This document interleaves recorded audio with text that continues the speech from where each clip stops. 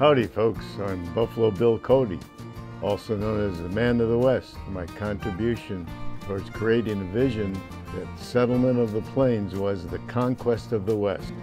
I lived during America's greatest expansion, 1846 to 1917. I was known as a frontiersman, a buffalo hunter, scout, actor, showman, and Indian fighter. I became famous through dime novels which greatly exaggerated and fictionalized my adventures.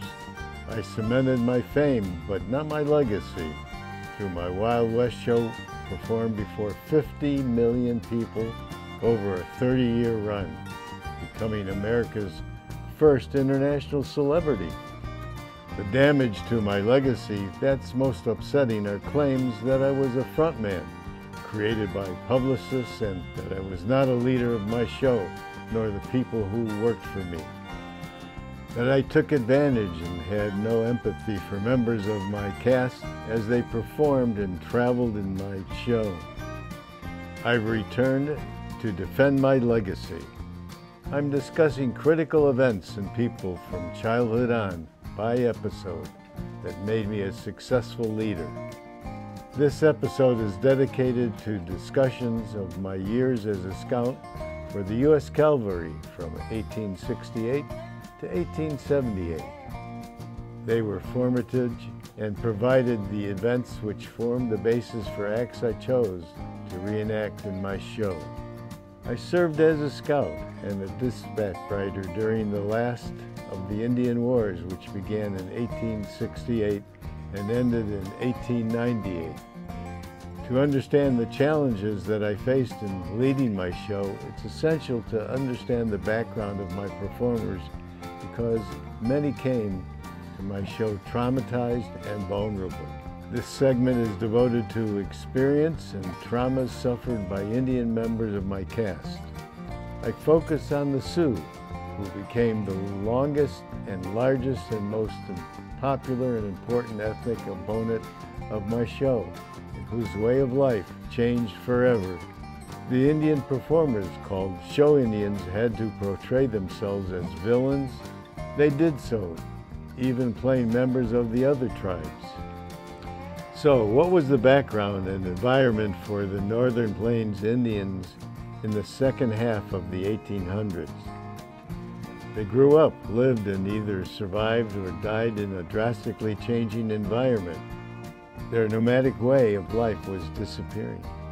Change that accelerated with the completion of the Transcontinental Railroad in 1869. As a result, travel from coast to coast was reduced to a week. The railroad facilitated the movement of people and goods. The line and later the tributaries of the railroad ran through Sioux hunting grounds. The slaughter of buffalo for their meat, their hides, and later senseless slaughter, shooting them from trains, decimated the herds. I hunted buffalo to feed the workers, not for sport.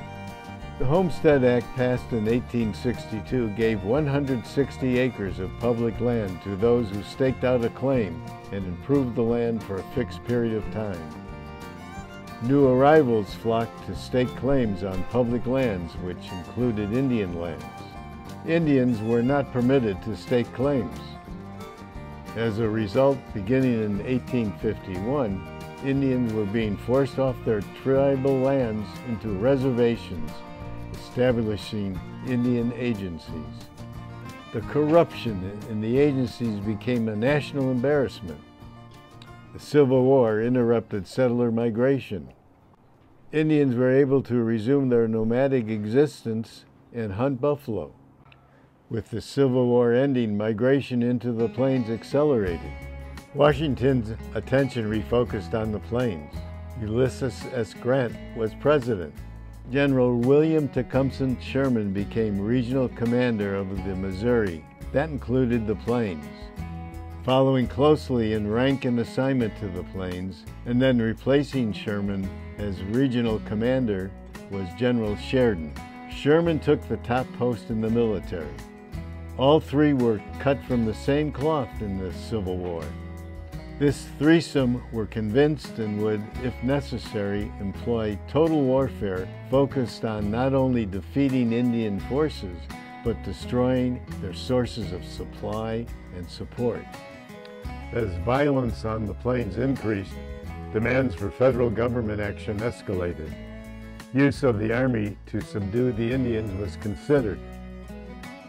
However, the reduction in military strength in the immediate post-Civil War era made the use of force questionable. The great distances and extreme variations of climate and geography increased manpower requirements, introduced logistical and communication problems, and created difficulties of movement. To be sure, the mounted tribes of the plains were a different breed from the Indians the Army had fought in the forest areas of the East. Grant and Sherman understood that the military had to adjust from large-scale battles to counterinsurgency against Indians. The Army would be fighting guerrilla fighters, excellent on horseback, fierce warriors, masters of the plains. Spear, bow, and arrow being replaced by guns. The Army had fought Indians in the West in the period after the Mexican War. But much of the direct experience of its officers and men had been lost during the Civil War. Many of the officers who would be moved to the forefront of the Army would have limited or no frontier and Indian experience. Cavalry regiments and scout companies needed to be formed, trained, and deployed. About 30% of the newly organized regiments would be manned by immigrants, many Irish. Forts had to be built in remote, unsupported areas. They would be difficult to defend, especially along the Bozeman Trail heading west across Sioux hunting grounds. Additionally, reconstruction of the South limited funding for campaigns on the plains. To buy time, a decision was made to pursue assimilation of Indians which meant forcing Indians to accept Western culture through education, to become citizens, to undertake peaceful farming on reservations. In exchange for moving onto reservations, the U.S. would guarantee the lands of the reservation would remain the tribe's forever. In addition, the U.S. government offered guarantees to stop encroachment by settlers and miners and other Indian tribes. The means by which this would be accomplished, treaties, nothing new. The U.S. government signed 370 treaties with numerous indigenous nations from 1778 to 1871. A peace commission was established in 1868. General Sherman was on the commission. This led to the Treaty of Fort Laramie in 1868. The United States recognized the Black Hills to be part of the Great Sioux Reservation, set aside for their exclusive use for perpetuity, that is, forever. Didn't work? Treaty failed. Why? The Fort Laramie Treaty, like many others, was modified three times. Once when gold was discovered in the Black Hills in 1874 by none other than General Custer of Little Bighorn notoriety a battle with the Sioux resulting in the largest single loss of personnel by military in the Indian Wars. Tribes were loosely knit societies of individualists living a nomadic existence under leaders whose control and influence fluctuated with the tribe's fortunes. The language in the treaty was complex and not fully understood by the Indian chiefs signing the treaty. In some cases, chiefs were selected to be treaty signatories, leaving powerful chiefs out of the negotiations. Frequently, some members of the tribe, particularly young warriors, refused to accept the terms. Where there was disagreement, tribes fragmented into bands led by sub-chiefs supporting or violating the treaty. In addition, many treaties required tribes not to fight each other, yet they did. Made worse by the fact that boundaries between tribes put them in proximity for each other. At times, the tribes were commingled on those same reservations. Another major reason was the way treaties were negotiated, reviewed, and executed. Indian tribes were asked, more often coerced, into approving treaties at the councils with U.S. negotiators before treaty approvals by the Senate, funding by the House, and ratification with the signature of the President. Further, many treaties promised goods, often provisions, money annuities, requiring approval of funding by the House. If funding was delayed, tribes did not receive promised assistance. As a result, struggling Indians experienced malnutrition and starvation. Health care provided was poor, and tribes suffered from diseases brought by the settlers. Because of the delays or failure to deliver promised support, tribes became disenchanted with the U.S. treaty process and refused to move or stay on the reservations. Force was used to return the bands to the reservations. Violence followed. On the U.S. side, the authority of negotiating officials was unquestioned, but the power to enforce treaty provisions on highly independent settlers and miners proved inadequate. Breach after breach provoked the Indians to action. Settlers, trained surveyors, small groups, and even army units and posts in uh, close to reservations fell victim to disaffected Indians. Invariably, the army was called in to protect the offending citizens and punish the Indians. Eventually, the U.S. ended the treaty system altogether, and Indians became wards of the government. The bottom line, pursuit of manifest destiny and policies which stereotyped Indians as people of nature, that is, savages standing in the way of progress, made their ultimate fate inevitable.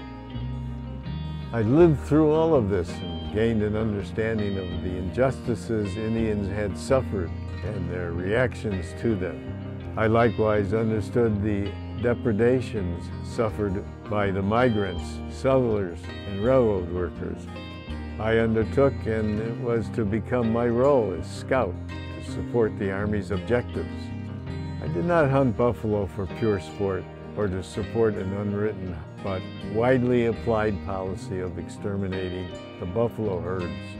I hunted buffalo to feed the railroad workers and cavalry. I must admit, however, I did agree to act as a hunter and guide for the buffalo hunts that had sponsors, including the Army. I hosted an Archduke from Russia and other dignitaries on buffalo hunts.